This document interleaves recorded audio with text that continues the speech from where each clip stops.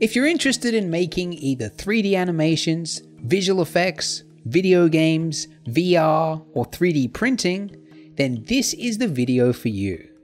This video will give you an introduction to 3D from a complete beginner's perspective by answering these two important questions. Where should I start and what software should I be using? So let's start with this first one. There's a lot of buzzwords related to 3D.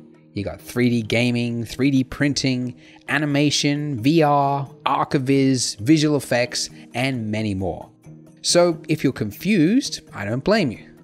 Well, regardless of what field you want to specialize in, a basic understanding of 3D is necessary for all of these.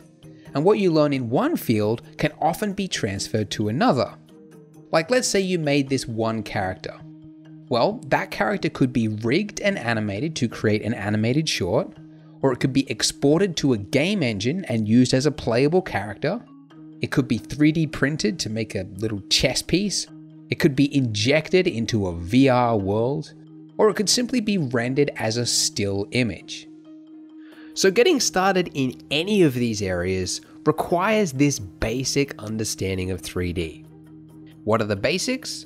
Well, they could be summed up as follows modeling an object by creating a cage and moving it about till it forms the shape of your object, textures or materials to make the surface look real when it's rendered, and lighting to create a pleasing final image when it's rendered. These are what you could call the three building blocks of 3D.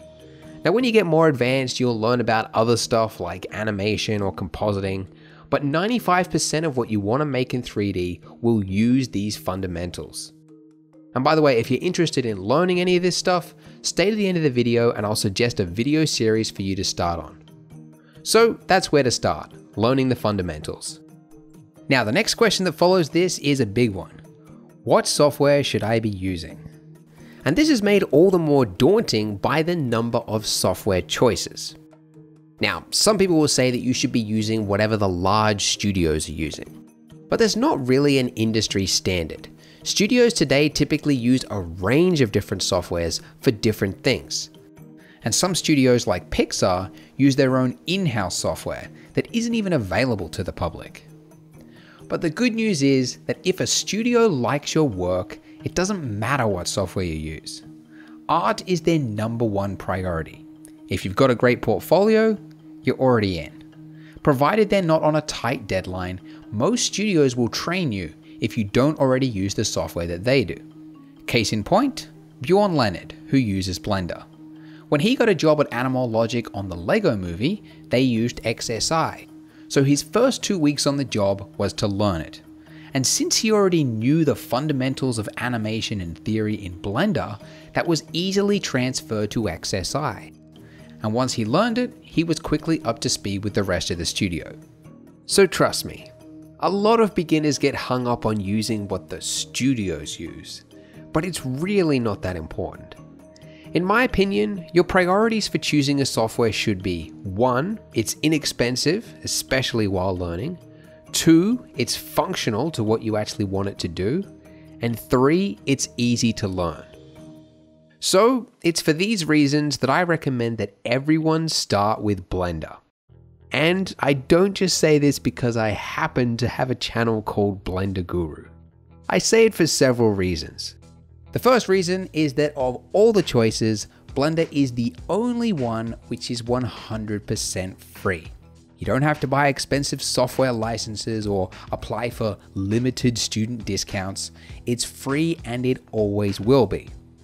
Now, when you're just starting out, this is really important because you don't yet know if you'll even like 3D yet. Now, I'm just being realistic here because I know people that assumed that the only way to learn 3D was to enroll at a college, spend upwards of $100,000 in student loans, pay for expensive software licenses, and then after two years have the sudden realization that 3D wasn't what they expected. Now, if they had started learning Blender at home, followed some free YouTube tutorials, they would have spent zero dollars.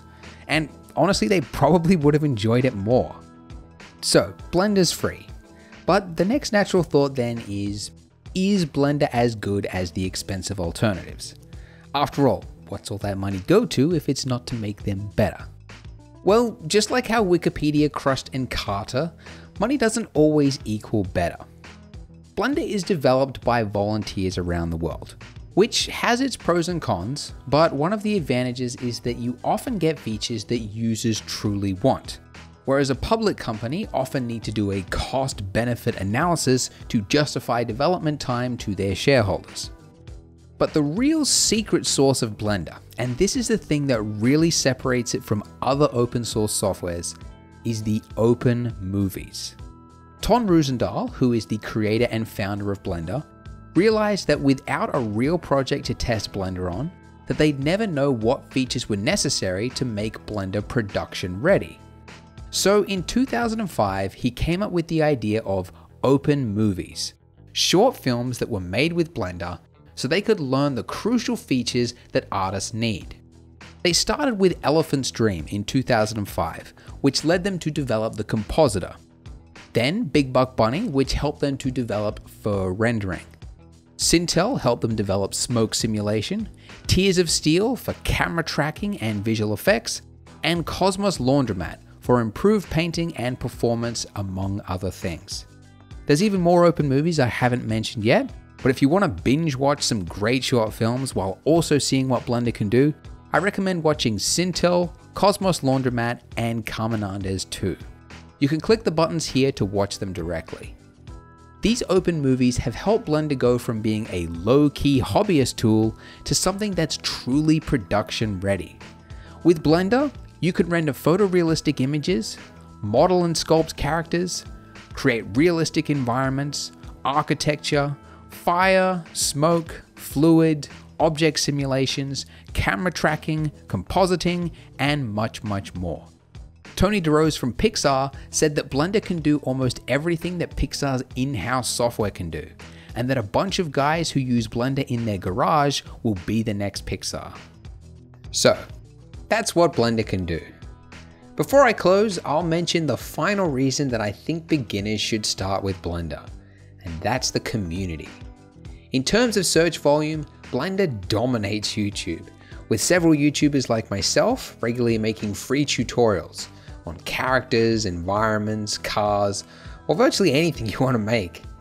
I've heard from users of other packages that this is one of Blender's very strong points. The community seems to want to give back, and as a result, you'll find people online that are constantly going out of their way to offer help. There's an active Blender subreddit, a dedicated Blender Stack Exchange, a Blender news site, and a Blender art forum. So if you're looking to get started in 3D, Blender is a very solid choice. Now I personally have been using Blender for 12 years, but I started in the exact same position that you're in right now. I taught myself how to use Blender by following some free tutorials that I found online, uh, but today I teach others to do the same. So through this YouTube channel, Blender Guru, um, I make Blender tutorials and I show people how to use Blender.